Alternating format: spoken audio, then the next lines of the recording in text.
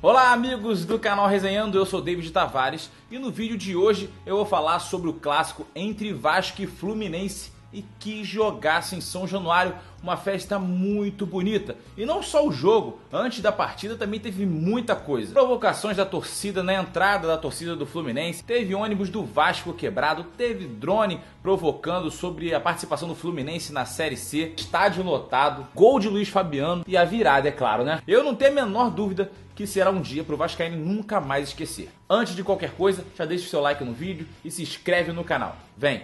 Para começar falando sobre essa partida espetacular em São Januário, duas viradas, vitória do Vasco sobre o Fluminense, uma festa incrível. Não vou nem falar muito da torcida, porque eu falei sobre isso no último vídeo, da festa, do que o torcedor vascaíno comprou esse time, você pode até dar uma olhada no card aqui em cima. Um jogo muito bacana de se ver, o Vasco começou muito bem, pressionando o Fluminense, né, até porque estava em casa, estava ali na empolgação da torcida. O Fluminense meio acuado né, no primeiro momento, depois o jogo equilibrou um pouquinho mais, o Vasco começou a ir à frente, né, trocando bons passes, até que saiu o gol do Luiz Fabiano, mais ou menos ali por volta dos 26 minutos. O gol saiu num segundo lance, né? O Gilberto iniciou a jogada, indo ali na linha de fundo, cruzar. O Luiz Fabiano tentou cabecear, Iago Pikachu pegou a sobra, cruzou de novo e Luiz Fabiano conseguiu fazer o seu gol no Vasco, aí, segundo no Campeonato Brasileiro. É importante destacar a impulsão do Luiz Fabiano e destacar que ele é um jogador que precisa muito dos companheiros. Quando a bola chega, ele consegue marcar. A partir daí só deu Vasco conseguindo dominar o Fluminense, troca de passes no meio-campo, o Douglas dominando a partida como sempre. Esse moleque eu não canso de elogiar porque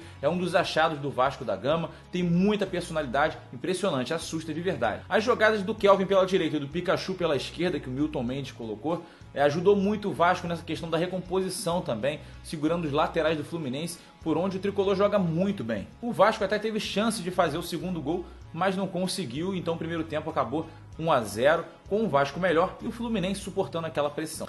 Já no segundo tempo, a partida mudou um pouquinho de característica por conta da atuação do Fluminense, né, que melhorou e igualou um pouco mais a partida. Chegou ali na intermediária do Vasco, algumas vezes, jogando com o Richarlison pela esquerda e o Scarpa centralizado. A troca de passe começou a fluir melhor no Fluminense. Isso é até uma característica do Abel Braga no time, que vai muito bem, né? Venceu o Atlético Mineiro na última rodada, venceu na estreia contra o Santos no Maracanã. O time do Fluminense é um time muito arrumado pelo Abel. Apesar de tudo, o Vasco ainda controlava um pouco a partida, mas com algumas bobeiras, por exemplo, os dois gols do Fluminense foram dois pênaltis infantis, um do Jean que a bola bateu na mão e um de Gilberto que ele nem estava olhando para o jogador, foi tirar a bola após uma defesa do Martin Silva e acabou acertando ali o Richarlison, marcando o segundo pênalti. Foi muito rápido as duas jogadas e os dois gols também, a virada do Fluminense foi bem rápida. A partir daí, o Vasco teve uma postura mais cautelosa, porque se sai muito o Fluminense, tem no contra-ataque pode ampliar o jogo e acabar com a partida. Ou seja, os ataques precisavam ser muito mais organizados. Foi aí que entrou o Nenê no lugar do Pikachu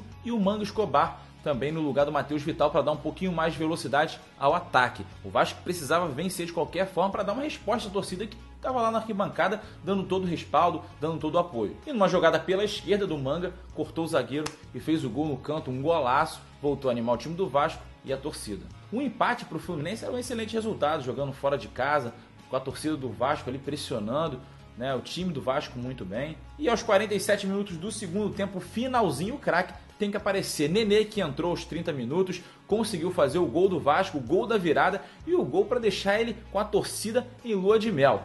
E é um cara que merece. Foi pro banco de reservas, não reclamou, mostrou todo o trabalho, passou duas semanas aí treinando direto, sabendo que ia ficar no banco, entrou, marcou e foi pra galera. E o torcedor apoiando o Nenê desde sempre. Bacana de ver. Enfim, uma festa muito bacana em São Januário. A torcida abraçou o clube isso é importante. Isso é um fator decisivo dentro do Campeonato Brasileiro. Quando o torcedor abraça o clube, isso faz muita diferença. E é isso. Se você gostou dessa análise do jogo que eu vi entre Vasco e Fluminense, deixe o seu like se inscreve no canal porque isso faz muita diferença.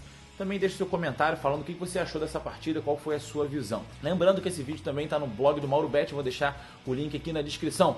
Um grande abraço, até o próximo vídeo. Tchau!